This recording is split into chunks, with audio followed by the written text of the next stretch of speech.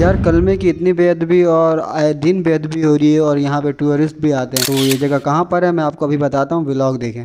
सुबह सुबह ही गर्मी हो रही है और ऊपर से सूरज मामू है ना, वो सही चपेड़े लगा रहे हैं हमारी शक्लों पे। और सूरज मामा को चमकता देख के मैं भी चमक धमक के साथ वापसी आ गया हूँ। तो कैसे हैं आप लोग? और आज हम लोग जा रहे हैं थोड़ा घूमने फिरने के लिए। काफ़ी टाइम बाद घूमने जा रहे हैं गाँव में और गाँव में तो वैसे घूमे भी हम लोग बहुत कम है। अभी मैं अभी मैं जा रहा हूँ। कज़न के पास तीस सेकंड का सफ़र तय करके मैं कज़न के पास पहुँचता हूँ। ये धूले साहब फुल तैयार हुए हुए होते हैं। तो ये इनकी सेज माशाला अभी बनी पड़ी हुई है। वैसी की वैसी है। बच्चों ने गुब्बारे गुब्बारे सारे फोड़ दिए थे। उसके बाद हम लोग रक्षा करा के चले जाते हैं। वही ये रक्षा होता है, कैरी रक्षा। हम लोग ये करा के निकल पड़ते हैं उस शरीफ की तरफ़। जगह दिखाऊँगा आपको, प्यारी प्यारी पूरी फैमिली के साथ हम लोग जा रहे थे वहाँ घूमने के लिए। तो यहाँ पे मंजर बड़े प्यारे प्यारे थे यार। हरियाली हरियाली, आगे पीछे हरियाली साइड पे हरियाली। पहले पहले एक मज़ार पे जाके पौड़ी वाली मज़ार है उस शरीफ की। यहाँ पे हम लोग एंटर हुए यहाँ पे। देखने लायक बड़ा मज़ेदार जगह थी जाके अंदर ज्यारत वारत की। ज्यारत करने के बाद मैं पहुँचता हूँ इस जगह पे। इस जगह पे मैं बचपन में भी कई दफ़ा आया हूँ, लेकिन कभी नज़र नहीं पड़ी इस जगह पे, क्योंकि शायद मैं उस टाइम बच्चे थे, पता नहीं था। अभी मैंने देखा तो यार इतनी बेदबी हो रही है यार। मेहरबानी इसको यहाँ से हटाएँ और किसी दूसरी जगह पे लगाएँ। लोग मुल्क में रहते हैं अलहमदिल्ला और मुसलमान भी और कलमे की बेद भी यार। प्लीज़ इसको यहाँ से हटाया जाए। अगर कोई देखने वालों में से अला सत्ता के किसी अफसर को जानता है तो भाई उसे मैंशन करे ताकि वो इस पर अमल दरामद करा के हटवा दे। तो यहाँ पे रोज़ टूरिस्ट आते हैं ज़्यादा वारत के लिए। तो उसके बाद मैं चला जाता हूँ नीचे वहाँ पे जाकर समोसे खाता हूँ। समोसे खत्म करने का हम लोग फिर निकल पड़ते हैं। छः किलोमीटर का सफ़र होता है तो हम लोग जा रहे होते हैं। कोई बैराज पता नहीं क्या। हम लोग यहाँ पे जाके रुकते हैं और यहाँ पे थोड़ी देर सैल सपाटा करते हैं। और उसके बाद फिर हम लोग पंच की तरफ़ रवाना हो जाते हैं।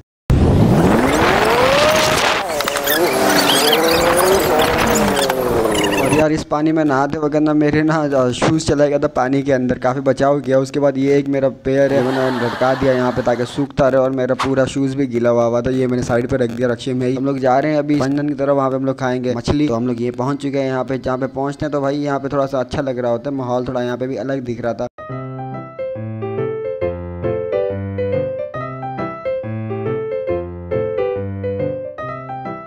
यहाँ पहुँचते तो इस मच्छी वाले भाई से मच्छी की बात करते हैं और आठ सात किलो मच्छी हम लोग ऑर्डर कर देते हैं। काफ़ी बहस करने के बाद कि कौन सी मच्छी है, क्या है, क्या नहीं है उनके कज़न को सादा पता था। और इसके पास यहाँ पे वेल लेने वाले लोग आ जाते क्योंकि ये नया दूल्हा था, नया दुल्हन दुल्हनते तो इसका वेल लेने के आते हर किसी को बोल रहा था, भाई, नया हो तो क्या हो गया? हर किसी को वेल देता रहो। वहाँ पे तफरियाँ होती रही। तो उसके साथ ही यहाँ से भी ये बैराज का पानी आ रहा था। पता नहीं कौन सा बैराज है यार, पानी की नहर है, क्या है? वो आ रही थी तो यहाँ पे हम थोड़े से और खड़े हो जाते हैं और तफरी करते हैं। और यहाँ पे हमारा टेंट है ये वाला। और यहाँ पे हम लोग बैठ के अब सारी फैमिली इंतज़ार करी थी कि पक के आ जाते और खा ले। मुझे बहुत भूख लग रही थी तो यहाँ पर छोले वाला था मैंने थोड़ा सा छोले भी चखे उसके बाद एक घंटे बाद जाके पक के ये हमारे पास मछली आ जाती है ये देखें सारी आई हुई आप जरा थोड़ा सा लुक देखें इसका।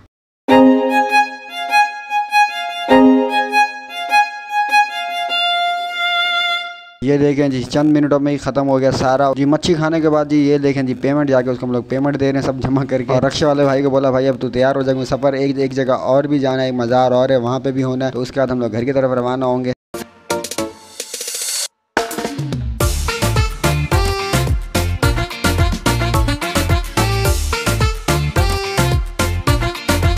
अब काफ़ी देर सफ़र करने के बाद हम लोग पहुँच जाते हैं भाई, इस मज़ार पे। ये वाली मस्जिद है और इसके सामने वाली जो जगह है, वो है मज़ार। और ये जो मेरे बैक पे नज़र आ रही है, ये भी काफ़ी पुरानी है यार। भी मतलब अच्छी कंडीशन में खड़ी हुई है। और ये जगह है, वो वाली जहाँ पे लोग अपनी मनते वगैरह के धागे जब कुछ बांधते हैं, और ये अंदर की मज़ार का नज़ारा है। यहाँ पर जाता हूँ, ज्यारत करता हूँ और ज्यारत करने के बाद मैं भी बाहर आ जाता हूँ। ज्यारत करने के बाद हम लोग फिर उसी बाज़ार से निकलते हुए अपने रशे की तरफ़ चल पड़ते हैं।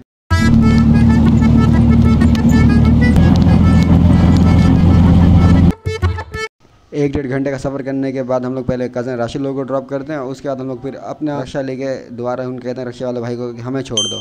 और रक्षा वाले जैसे स्टार्ट करता तो हम लोग आगे रास्ते में बोलता हूँ, भाई, गाड़ी रोकियो, क्योंकि मुझे ये थोड़ा सामान लेना था घर पे खाना हो ना हो तो ये तो खा लूँगा, रात में अगर ज़्यादा भूख लगी तो। तो इसे ले लेता हूँ और फिर हम रक्षा वाले के साथ चल पड़ते हैं अपने घर की तरफ़। तो जैसे ही आठ मिनट के रास्ते के बाद हम लोग पहुँचते हैं तो मैं रक्षा वालों को कहता हूँ, भाई, आप जाओ और आप लोग भी जाएँ, अल्लाह हाफिज़ और सब्सक्राइब कर दीजिएगा और फॉलो कर दीजिएगा।